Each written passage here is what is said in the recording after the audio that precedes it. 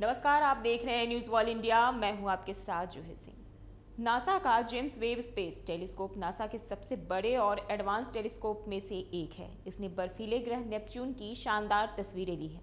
NASA के मुताबिक, James Webb space telescope ने पहली बार नेपच्यून की तस्वीरें ली हैं। नासा की तरफ़ से जारी प्रेस रिलीज़ में इस बात की जानकारी दी गई है।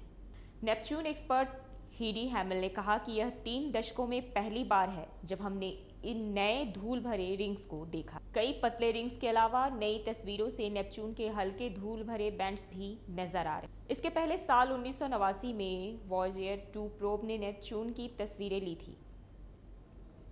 वॉजियर टू प्रोब ने नेपच्यून ग्रह के चारों तरफ़ एक धुंधली रोशनी के घेरे को देखा तो ज़रूर था, लेकिन तस्वीरें धुंधली थी। आपकी जानकारी के लिए बता दें कि नेपच्यून हमारे सौर मंडल का सबसे दूर का ग्रह है। पहले प्लूटो था, लेकिन अब वो ग्रहों में गिना नहीं जाता है। खैर, धरती से नेपच्यून की दूरी 432 करोड़ किलोमीटर है। ठंड, अंधेरा और सुपरसोनिक हवाओं से घिरे नेपच्यून को बर्फ़ के दानव के तौर पर भी जाना जाता है। ये ग्रह धरती की तरफ़ झुका हुआ है और आपको ये भी बता देते हैं कि सूरज का एक चक्कर पूरा करने में इसे एक साल लगते हैं। जियोलॉजिस्ट को अभी इसके उत्तरी ध्रुव की कोई फोटोग्राफ या कोई जानकारी नहीं मिल पाई है। हिडी हैमल का कहना है कि नेपच्यून के चारों तरफ़ मौजूद धुंधले बैंड्स को हम पहली बार साफ़ तौर पर देख पा रहे हैं। ये छल्ले सामान्य तस्वीर में नज़र नहीं आते हैं। इसलिए जेम्स वेब स्पेस टेलीस्कोप के इंफ्रारेड तस्वीरों की मदद ली गई है।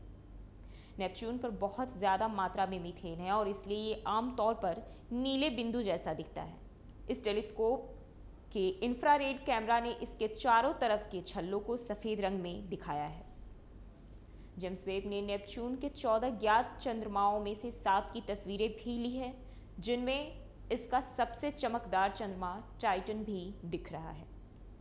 बात करें जेम्स वेब की तो इसको अभी अंतरिक्ष में गए सिर्फ़ आठ महीने हुए हैं, लेकिन उसने पूरी दुनिया को अंतरिक्ष की एक नई दुनिया से रूबरू करा दिया है। इसके पहले अगस्त महीने में इसने बृहस्पति ग्रह के ग्रेट रेड स्पॉट और औरोरा यानी कि ध्रुवीय रोशनी की रंगीन तस्वीरें खींचकर सबका मन मोह लिया था।